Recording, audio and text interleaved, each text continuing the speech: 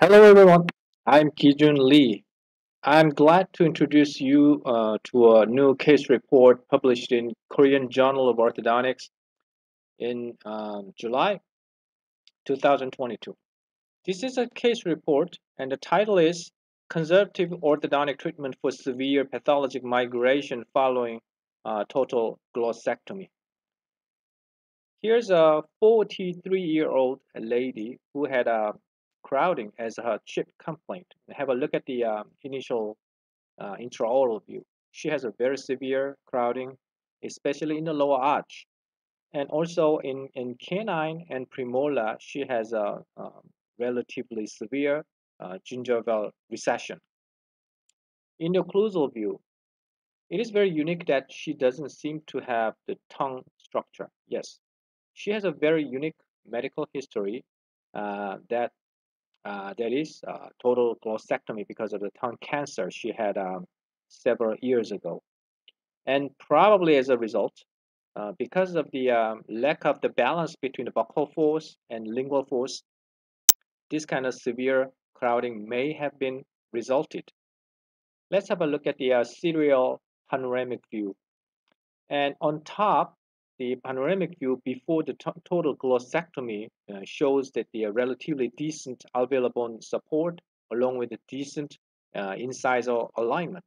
And three years after uh, surgery and six years after surgery, she has grown, she has developed uh, even more severe dental crowding. So this kind of a very extraordinary severe crowding may have been resulted from lack of the muscle force between uh, buccal and lingual side. So total glossectomy without any supervision may lead to this kind of detrimental uh, crowding. So this is the current status when she came to orthodontic department and we had to do something even if she doesn't have a um, very large tongue structure.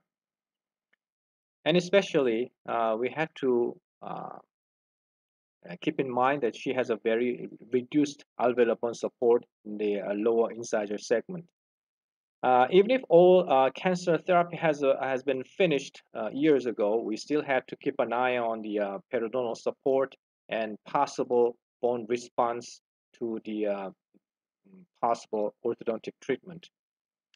From the lateral cephalogram, she had a class 2 skeletal pattern with excessive incisor overjet and deep bite.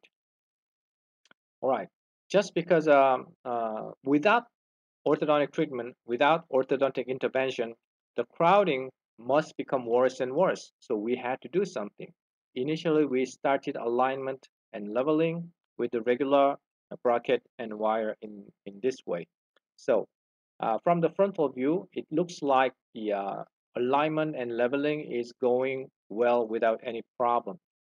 And on the side, we had to choose uh, which which tooth to pull out. And uh, like like in, as you see in the occlusal view, uh, two of the lower incisors has been uh, sticking out of the um, main uh, arch wire. So uh, just because we are not able to align these two teeth, we will have to pull out these two incisors. And also, uh, if, if we pull out the lower incisors, we might have to pull out the upper premolars as well, which is a big commitment commitment for such a, a patient with a history of um, uh, cancer. Was not easy, but we had to uh, do this, uh, make this kind of radical decision. And there's another thing that we have to pay attention to, which is the reduced alveolar bone loss in the lower arch. Have a look at the uh, alveolar bone support immediately after leveling and alignment. Even if we pull out two of the uh, lower incisors, the rest of the teeth may be uh, surrounded very limited alveolar bone. So we had to um, uh, find a clue to be able to um, get out of this uh, troublesome situation. In the literature, uh, they say it has already been said that regular extrusive uh, uprighting of the molar may lead to uh, loss of the attachment level. So this kind of extrusive movement uh, may be very detrimental for especially periodontally compromised tooth. In contrast, in one of the animal experiments when they intruded the molars, at least the uh, attachment level was very well maintained. It did not improve, but it did not worsen the situation. So in order to maintain the attachment level, we might have to choose uh, intrusion rather than extrusion. Have a look at the histological view. The relative position between the attachment and all the uh, um, supraalveolar fibers relative to the level of the uh, cemento-enamel junction is very well maintained. And as a result, uh, from one of the uh, clinical studies, we can see the, along with the uh, incisor uh, intrusion, the gingival margin and mucogingival junction and also alveolar crest would follow the tooth movement. So it, it, it doesn't mean that intrusion is very safe and helpful, but intrusion does not at least worsen the attachment level. So in times of trouble, if we have to choose between extrusion and intrusion from a histological level, we might have to go for intrusion. Then the next question is, just because we are in very dangerous situation, we need to produce a very, very precise uh, force system that will not cause round tripping of the teeth because um, going back and forth will uh, make the alveolar bone support even worse and worse. So first, as a first step, we need to localize the center of resistance of a lower incisor segment, which was found uh, slightly distal to the uh, canine crown, as you can see in, the in this finite element study.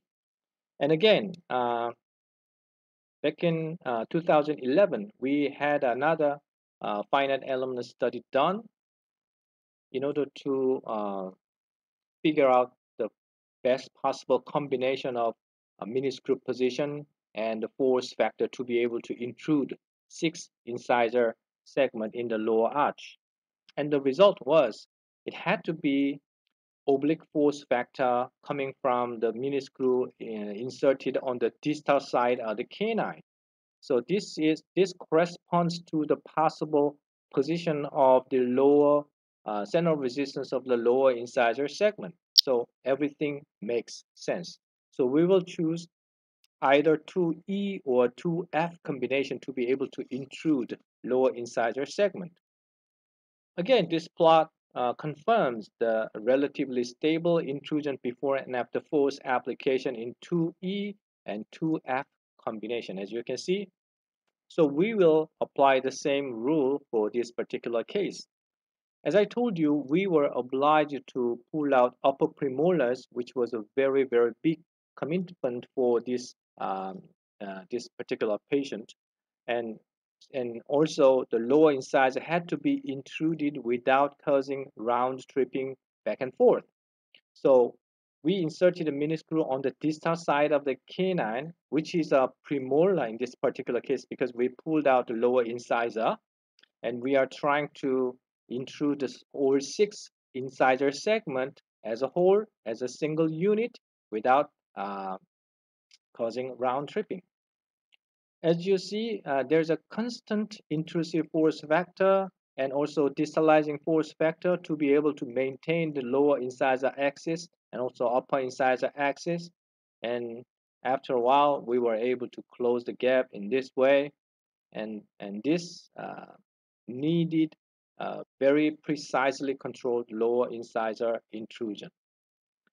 Uh, this is the occlusal view after treatment. As you see, there's uh, no tongue structure, and we will have to maintain the lower incisor alignment as it is permanently for the rest of her life. And as a matter of fact, she was very happy that uh, she had now she has a very well aligned teeth. And also we were very happy because in the middle of the treatment, we were very shocked to see the uh, reduced alveolar bone level in the lower incisor segment. But uh, following the uh, relatively stable intrusion of the lower incisor, I can tell you at least we did not uh, make it worse. We maintained uh, attachment level of the lower incisor segment, at least from a clinical standpoint. We were not able to have a look at the histological view of this um, uh, situation, but uh, we can tell, we can say at least we uh, barely maintain the alveolar level after treatment. So we will maintain uh, the uh, alignment as it is for the rest of our life. This is a cephalometric superimposition before and after treatment. There was a tiny little amount of a lower incisor flaring, but majority of the tooth uh, movement was done by pure intrusion of the lower incisor, which allowed retraction of the upper incisor as well because she had a very deep bite in the very, very beginning. And this is a smile before and after treatment. And she has a very nice smile after treatment and she's very happy. So uh, again, in view of the whole uh, treatment sequence, uh, we can we can say we can conclude this kind of a precisely controlled tooth movement uh, can restructure a very uh, challenging case and challenging occlusion, especially uh, the patient is getting old and also especially when she has a very specific or unique uh, medical history, like cancer. So at, as always, we need to give a very precise force uh, and also we need a very um, a precise interpretation of the force system. In order to produce a good force system, we need a basic information such as a, a central resistance and, and force vector and things like that. So this is a summary of our uh, case report and thank you very much for your very kind attention.